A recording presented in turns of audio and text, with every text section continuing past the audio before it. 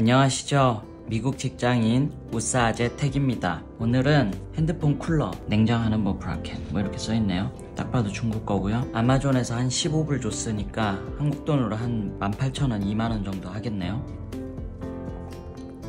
매우 조용하고 빠르게 쿨링하고 미니 사이즈다. 그리고 맞다. 이 배터리가 있다 그래가지고 한번 사봤습니다. 아쉽게도 USB-C가 아니고 마이크로 USB입니다. 시계에서 스위치인 것 같고 충전기 이렇게 되어 있습니다. 스위치 켜볼까요?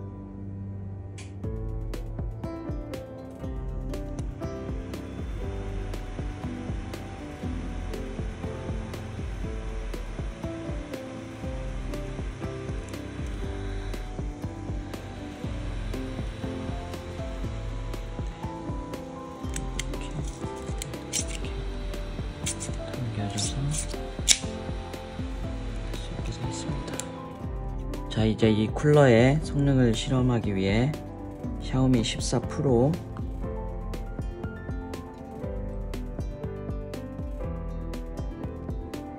이걸로 3D 마크 테스트를 해볼 건데요.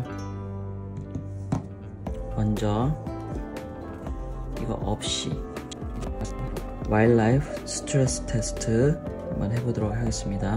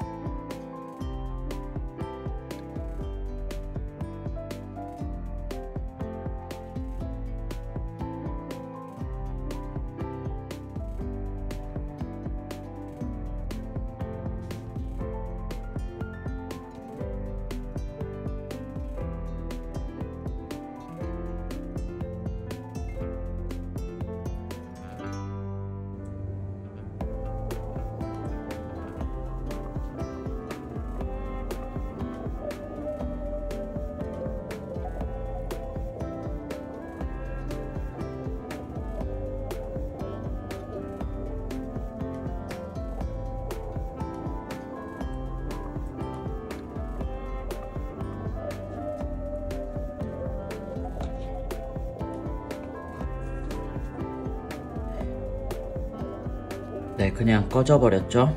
19번 돌다가 배터리, 이거 뜨거울 텐데.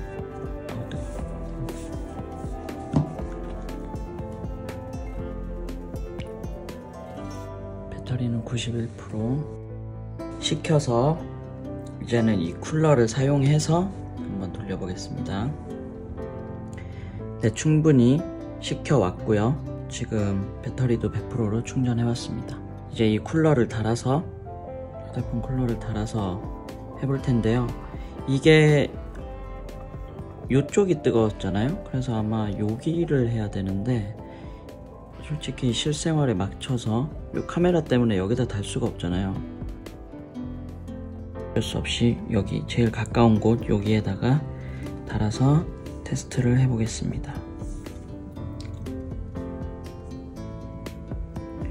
Wild Life 스트레스 테스트 이번엔 과연 이걸 이렇게 바람이 들어갈 수 있도록 이런 식으로 세워서 바람이 들어갈 수 있도록 하고 해보겠습니다. Wild Life 스트레스 테스트 켭니다. 켜고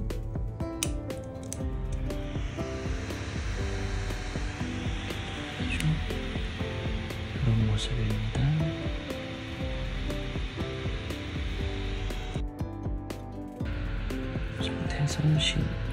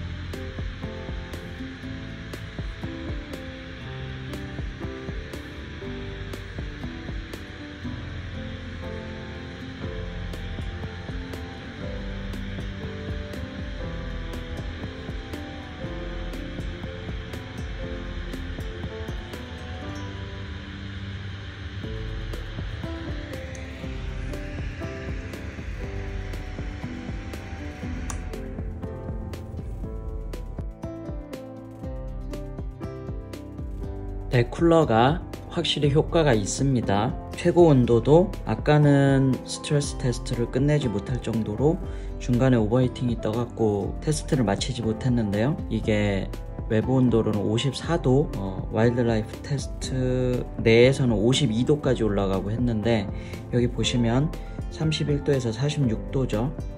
배터리는 10% 다는 건 비슷합니다. 10% 11% 다는 건 그런데 성능 점수 뭐 쿨러 확실히 여긴 효과가 있었습니다. 만져봐도 확실히 덜 뜨겁고요.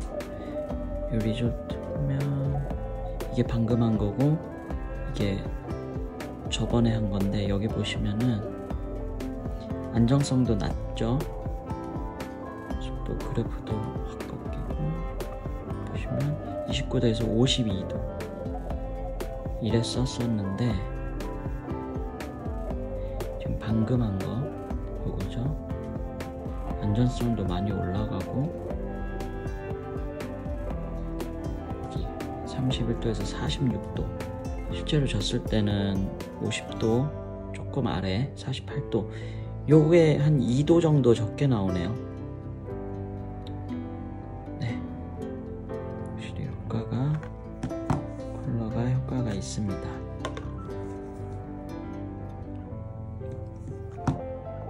아까 쿨러 없이 스트레스 테스트 돌리다가 이게 19번째 루프에서 과열 경고랑 멈춰버렸었거든요. 그래서 쿨러 없이 다시 한 번만 3D 마크 테스트 돌려보도록 하겠습니다.